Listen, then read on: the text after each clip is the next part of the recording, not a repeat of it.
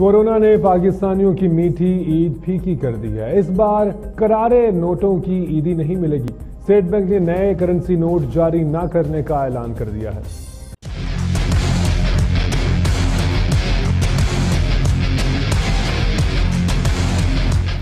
State bank से जारी एलामिये के मुताबिक मुल्क में कोरोना वायरस का फैलाव रोकने के लिए एहतियाती तदाबीर के तहत इस साल नई करेंसी नोट जारी नहीं किए जाएँगे, जबकि अवाम के अलावा बैंक मुलाजमीन को भी नए करेंसी नोट जारी नहीं होंगे।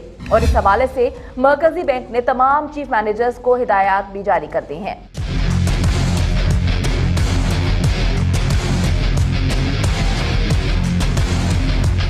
स्टेट बैंक की जानब से चीफ मैनेजर्स को जारी मरासले में कहा गया है कि नए करेंसी नोट जारी न करने का फैसला बैंकों में समाजी फासला रखने और कोरोना के फैलाव को रोकने की कोशिशों को मद्देनजर रखते हुए किया गया है। इससे कबल हर साल ईद उल फितर पर वाह रमज़ान के आखिर में स्टेट बैंक की जानब से नए करेंसी नोट का इजरा किया जाता रहा है।